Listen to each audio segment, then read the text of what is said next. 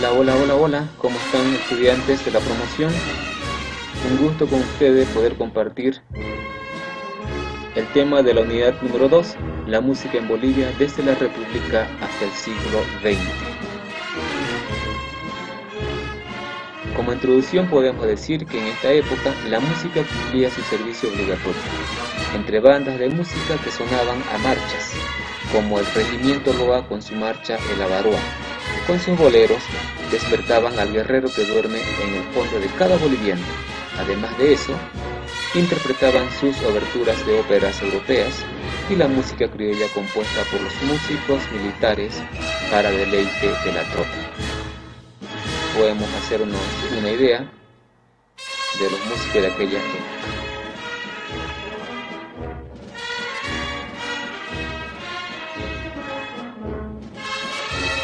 En todo caso, es justo reconocer que la labor de difusión musical que cumplieron las bandas militares fue tan singular como notable, puesto que saliendo de los cuarteles no había acontecimiento social o religioso de solemnidad relevante que no incluyera a las bandas militares, en el atrio del templo o en las plazas principales ni qué decir del uso de las bandas en las fiestas tradicionales o patronales de ciudades y provincias.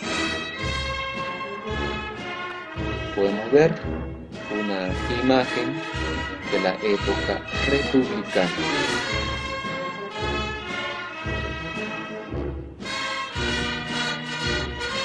Vamos a estudiar un poco y vamos a conocer a los músicos de aquella época. Entre ellos, primero vamos a empezar con los músicos originales. Lo tenemos al señor Juan Hualcarinachi, al señor Vicente Canqui,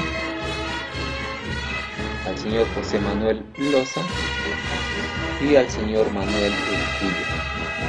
Estos compositores, junto a otros artistas y filósofos, tuvieron participación decidida dentro de la situación social y política imperante en aquella época. Junto a ellos también se suman el señor Pedro Jiménez Tirado, creador de varias obras en estilo popular y responsable del primer himno nacional boliviano.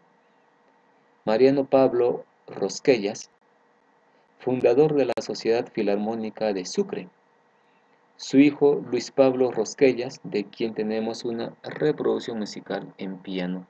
José María Vertis organizó la primera orquesta en la ciudad de La Paz.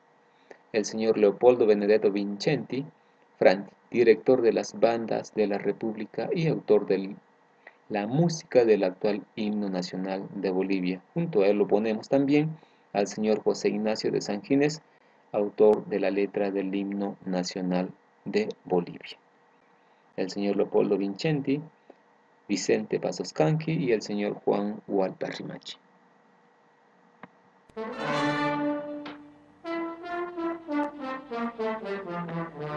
Conozcamos también otros compositores que trabajaron en esa época. José María Velasco Maidana, Jaime Mendoza, ambos ejercieron una significativa influencia en el desarrollo de las actividades musicales en Bolivia. Características de la música en la época republicana. Comienza a ser constante las manifestaciones de la vida musical culta. Se interpreta obras como Ser, ópera italiana, se escucha por primera vez a los solistas y empiezan a surgir pequeñas agrupaciones instrumentales, cantantes, coma, etc. Surgen los músicos republicanos, bolivianos como Adolfo Vallivian, Modesta Sángines, Eloy Salomón, Norberto Luna. Lo podemos ver al señor Adolfo al señor Eloy Salomón. La música durante la primera mitad del siglo XX. Este periodo, Bolivia estuvo marcada por la búsqueda de identidad y de un lenguaje que lo represente. Hay que reconocer que en esta época habían culturas, tanto collas, aymaras, guaraníes, sumado a ellos los europeos. Entonces Bolivia tenía que adquirir una identidad, además adoptar un lenguaje oficial. La música en Bolivia está marcada por la presencia de grupos étnicos. Las obras musicales mezclan los moldes tradicionales de composición con las melodías del patrimonio folclórico. Aquí empiezan ya a surgir eh, grupos folclóricos que expresan el modo de ser, de pensar, de actuar, de querer de los pueblos en Bolivia. A continuación te dejo una imagen con todos los compositores más sobresalientes de aquella época. Lo puedes estudiar con calma, también lo tienes en tu libro y puedes repasar las veces que sea necesario.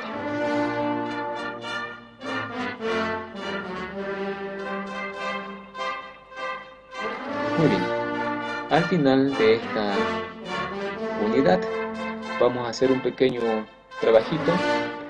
En tu cuaderno vas a realizar un mapa conceptual y para que sepas cómo hacerlo te dejo una imagen, un ejemplo de cómo tendría que ser tu mapa conceptual. Por favor, tienes que hacerlo en tu cuaderno y al regreso de nuestras actividades escolares vamos a revisar. Espero que este video te haya ayudado y te sirva las veces que sea necesario. Muchas gracias.